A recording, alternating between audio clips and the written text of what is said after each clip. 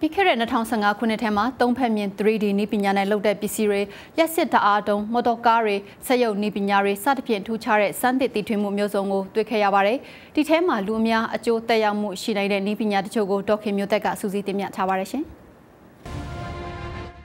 ဒီနှစ်ထဲမှာတိုးတက်လာတဲ့ computer hardware နဲ့ software တွေအပြင် အာယုံခံဆက်တွေဉာဏ်ရှိတဲ့ AI ဆက်တွေနဲ့စက်မှုပစ္စည်းတည်ထွင်မှုတွေပိုပြီးဆန်းသက်လာတာမို့စက်ရုပ်ခေတ်ကိုရောက်ဖို့အတွက်တဆင့်ပိုပြီးနှီးစပ်လာတာဖြစ်ပါတယ်။လျှက်စိတ်ကားတွေကအကြီးကျယ်အောင်မြင်နေတာပါ။လောင်စာစီနည်းနည်းနဲ့မိုင်းပိုးပြီးမောင်းနိုင်တဲ့ကားတွေအပြိုင်ထုတ်နေကြသလိုတချို့ကလည်း hydrogen စွမ်းအင်သုံးကားတွေထုတ်ဖို့အတွက်လုပ်နေတယ်လို့ Honda ကုမ္ပဏီက Tahakiro Hachiko ကပြောပါတယ်။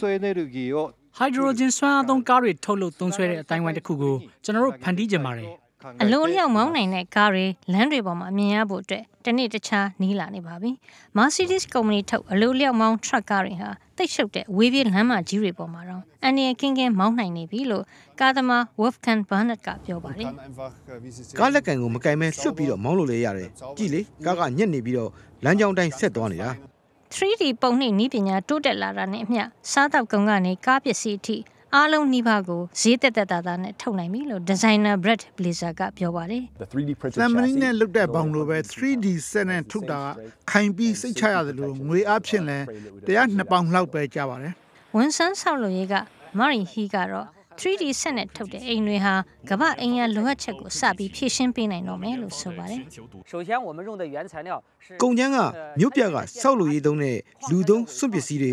တတ်ထူတွင်အမှိုက်တွေပါ။ဒါတွေကိုအမျိုးအစားခွဲပြီးတော့အထူးပုံနှိပ်မှင်ဖြစ်ပြောင်းပြီးတော့သုံးတာပါ။တီထွင်ပညာရှင်ဝူချန်ဟွာကတော့စက်ရုပ်တွေကိုအဲ့ဂျိုအရက်ဆက်ပေးသူဒါအပြင်လေးဖြတ်နေသူတွေလမ်းပြန်လျှောက်ရေးအတွက်ကူညီသူတွေအထိတုံးနေနိုင်ပြီလို့ဆိုပါတယ်။ 在这个过程中ကျွန်တော်တို့ရဲ့သူရင်သနာအရာဆိုရင်ရင်းညွန့်ရိုးကနေလေးခုမြောက်အစ်အောက်ပိုင်းဒဏ်ရာရသူတွေစက်ရုပ်ကိုသုံးပြီးရပ်နိုင်ထိုင်နိုင်လမ်းလျှောက်နိုင်ကြပါပြီ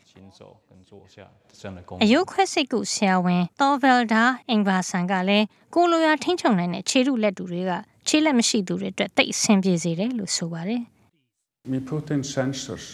into the muscles who pick up ကြွက်သားထဲမှာအာယုံခံဇက်ကလေးတွေထည့်ပေးလိုက်တော့ကြွက်သားတွေစီရောက်လာတဲ့အုံနောက်ရဲ့အချက်ပေးမှုကိုဒီခြေထုလက်ထုတွေကရသွားပြီးတော့ကိုလှုပ်ရှားခြင်းတဲ့ပုံစံလှုပ်ရှားလို့ရသွားတာပါ။ဒီ2015ခုနှစ်ဟာ drone ယာဉ်တွေအနှစ်လို့လည်းပြောလို့ရပါတယ်။မောင်းသူမဲ့ရေယာဉ်တွေလေယာဉ်တွေနဲ့ပင်လယ်ရေပြင်နဲ့ဇီဝဗေဒလေ့လာမှုတွေဖြင့်အာဖရိကကတားရဲမှောင်ခိုတွေဖမ်းဆီးတာနဲ့လေယာတိနံစိုက်ပျိုးမှုကိုဆန်းစစ်နိုင်တယ်လို့လေယာဉ်မှာပျက်စီးမှုရှိမရှိကိုပါစစ်ဆေးနိုင်တာပါ။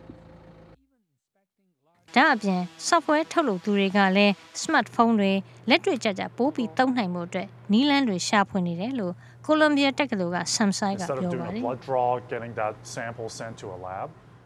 လက်ထက်ကဖောက်တဲ့သွေးကိုစစ်ဖို့ဓာတ်ခွဲခန်းကိုပို့မဲ့အစားဖောက်တဲ့နေရာမှာတင်စမ်းသပ်နိုင်ပါပြီအဖြေကလည်း15မိနစ်အတွင်းမှာပဲဓာတ်ခွဲခန်းကရတဲ့အဖြေမျိုးထုတ်ပေးနိုင်ပါတယ် တကယ်ရုံလုံးပေါ်မြင်အောင်လုပ်တဲ့ဤပညာကလည်း game ကစားနည်းမှာသာမကပဲကြည့်သူတိုင်းကိုတခြားကဘာကိုဆွဲခေါ်သွားတယ်လို့ပဲလို့ game ကျွမ်းကျင်သူ John Hicks ကပြောပါတယ်တကယ်လက်တွေ့ခန်းစားမှုပေးတဲ့ရုပ်ကြွနည်းပညာဟာကျွန်တော်တို့လုပ်ငန်းမှာတော့အခုဆိုတကယ်ကိုစိတ်လှုပ်ရှားစရာတစ်ခုပါတခြားကစားသူတွေလည်းပါနေတာမို့ဒါကတကယ်ကိုအရေးပါပါတယ်